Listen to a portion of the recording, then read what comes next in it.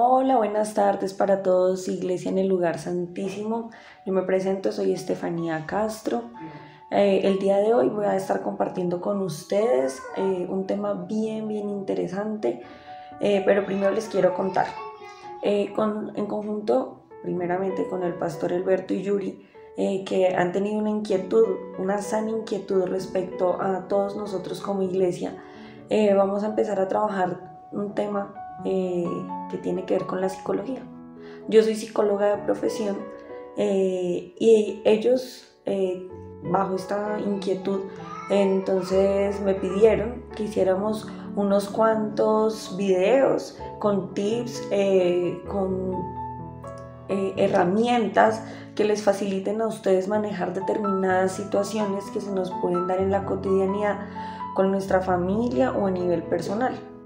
Así que sin más rodeos, eh, hoy vamos a hablar de un tema bien, bien importante y que más que por estos días es algo que se ha venido desarrollando a lo largo de los años y cada vez con mayor intensidad y es la depresión. Así que hoy vamos a hablar una pequeña introducción y a medida que van pasando los días, en otros videos vamos a ir aclarando dudas, vamos a ir dando cada día más herramientas. La depresión. La depresión es conocido como un trastorno mental en el que se ven involucrados eh, nuestros sentimientos, nuestras emociones, puede estar involucrada nuestra parte genética, nuestra parte social, emocional, cognitiva, y esto hace que abarque gran parte de nuestra vida cuando se sufre la depresión. La depresión es únicamente diagnosticada por personas profesionales. No puedes llamarle depresión a cualquier tristeza, a cualquier mala situación o a cualquier baja de ánimo. Es algo muchísimo más grande, va a un espectro mayor, tiene una etiología eh, muy compleja, así que no podemos ser ligeros con nuestras palabras a la hora de hablar de la depresión.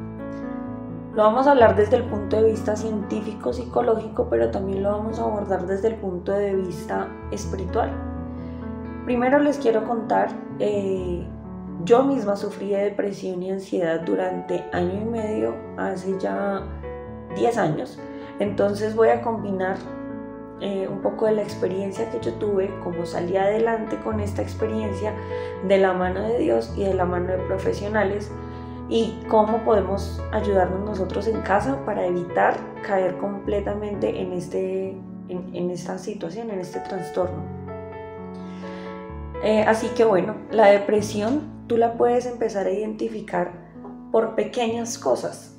Les voy a dar un listado de situaciones con las que ustedes pueden identificar si una persona está teniendo una depresión o apenas está empezando a entrar en ella. Puede haber exceso de llanto, mucha irritabilidad, retraimiento social. Retraimiento social quiere decir que la persona disminuye su deseo de compartir con personas con las que antes le gustaba compartir. La pérdida del interés y el disfrute de las actividades de la vida cotidiana, como pérdida de interés en tu trabajo, pérdida de interés en, en libros, en programas de televisión o en actividades que antes te satisfacían y que hoy en día no te están llenando. Em, los sentimientos de culpa e inutilidad pueden ser claves, empiezan a aparecer de a poquito porque empiezas a sentir que nada de lo que haces está bien, que nada de lo que haces te gusta o nada de lo que haces te llena y la culpabilidad es porque justamente esa inutilidad te hace sentir culpable, como si no fueras lo suficiente, tanto para ti como para el entorno. Estamos hablando aquí también de la autoestima y pérdida de la confianza. Hay sentimientos de impotencia que empiezan a hacerte como esa, a, meterte allá esa, esa idea de eh, yo no soy capaz de hacer esto, yo ya no lo puedo lograr, y ese tipo de ideaciones son las que empiezan a ahondar aún más ese sentimiento de tristeza, de llanto, y nos empezamos a enrolar en, una, en, en, nuestra mente le damos rienda suelta y estos pensamientos empiezan a llenar espacios en nuestra vida que antes no había. Yo te lo estoy hablando desde el punto profesional primero, pero ahora voy a entrar en la parte espiritual.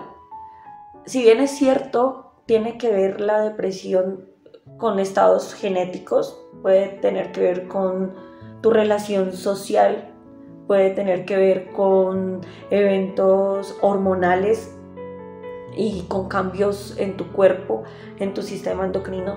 Por eso es importante que antes de ser diagnosticada una depresión vayas a un médico, un psicólogo o psiquiatra y se te hagan los estudios pertinentes para no estar incurriendo en un error. Cuando hablamos en la parte espiritual de la depresión, yo te podría decir que son puertas que nosotros hemos abierto a nivel emocional, que de heridas incluso del pasado, de situaciones sin resolver, de situaciones que se dieron y que no hiciste un cierre adecuado con el Señor y que en algún momento están pasando su cuenta de cobro. Son como semillas que se quedaron plantadas allí y de un momento a otro empiezan a surgir en diferentes etapas de la vida. A veces se puede dar con un evento parecido al que hayas vivido o en un evento totalmente diferente que puede hacer un recuerdo, que te puede estar dando eh, esa sensación de tristeza, esa sensación de dolor eh, que ya les mencioné anteriormente. Así que con nuestro Señor Jesucristo tenemos herramientas también para superar la depresión. Superarla no, evitarla.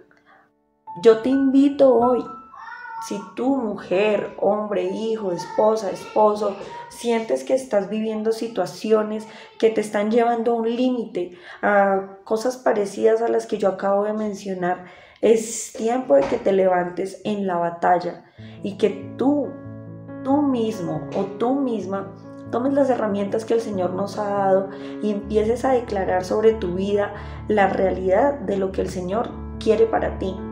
Esto implica que tú debes tener un conocimiento de la palabra, no absoluto, pero pídele a Dios que te dé una palabra para ti, que te haga guerrero y guerrera para salir adelante de sea cual sea la situación que tú estás viviendo.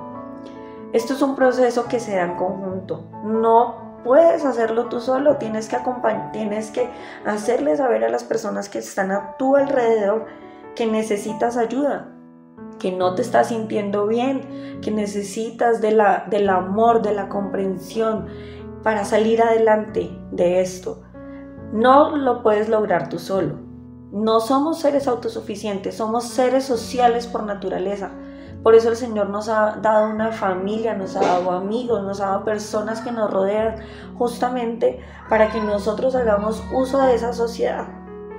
El Señor en su palabra habla mucho de la mente, pero hay un versículo específico en el que él habla de renovar nuestra mente. Renueva tu mente, renueva, renovados la mente.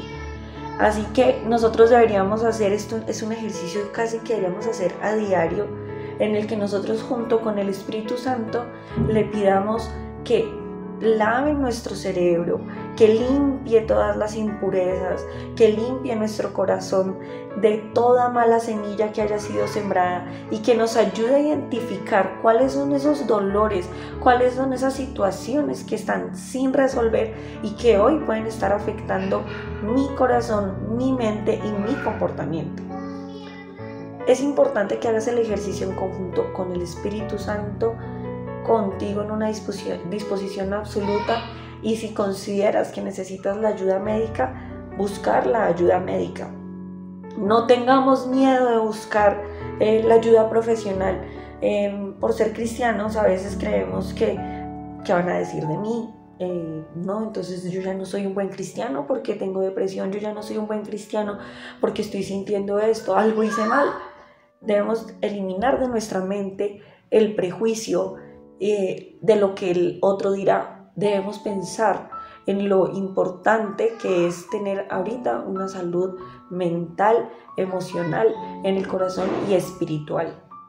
Así que mis queridos amigos, amigas, eh, en, esta, en esta mañana o esta noche, yo les invito a que leamos el Salmo 27, cada uno allí en su casa, y que hagamos esa, esa reflexión y entendamos que no hay batallas que peleamos solos, que siempre está el Señor por delante de nosotros. Pero nunca, nunca pares de adorarle, de alabarle, de glorificarle por todo lo que Él es. No solamente por lo que te da, es por lo que Él es, por lo que significa Él en tu vida. Dignifica al Señor en tu vida. Él es el único que te va a dar la sanidad completa y absoluta, tanto física como del alma. Así que eh, leyendo este Salmo 27, decláralo con fortaleza. Es el salmo que el Señor me dio a mí en momentos difíciles y fue un salmo que constantemente repetía y repetía y repetía, sabiendo que aun cuando acamparan ejércitos en contra mía, yo sabía que el Señor estaba allí y que yo debía estar confiada, que mi confianza era Él. La confianza hoy, mujer, hombre, o joven o niño que puedas estar sufriendo una situación de depresión es el Señor está contigo. Tu corazón no debe temer. En el perfecto amor no habita el temor. Y el amor es nuestro Señor Jesucristo. Espero que esto que hablamos el día de hoy, que apenas es un abrebocas, sea de mucha utilidad en tu corazón y en tu vida y que para los siguientes videos eh, construyamos eh, en conjunto sus necesidades junto con las respuestas que se necesitan. Así que gracias Señor por este tiempo hermoso que nos estás regalando, Señor, para edificar nuestro corazón. Te pedimos, Señor, que tú a cada persona allí en su casa, Señor, le muestres en su corazón qué situaciones o qué cosas pueden estar haciendo que crezca una tristeza tan profunda en su corazón o en su vida, Señor. Sé tú, Espíritu Santo, quien llenas las vidas de las mujeres, de los hombres, de los jóvenes, de los niños de nuestra iglesia, Señor. Sé tú mostrando y guiando, Señor Padre Dios. Limpia toda tristeza, Señor Padre Dios, que pueda existir en sus corazones.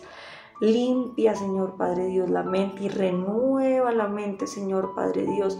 Pon allí a tu Espíritu Santo para que seas tú quien procesa estos corazones y estas mentes, Señor, que sean los pensamientos de Cristo y no nuestros propios pensamientos, Señor Padre amado. Gracias te damos en el poderoso nombre de nuestro Señor Jesucristo. Amén. Nos vemos en la próxima. Bendiciones. Un abrazo.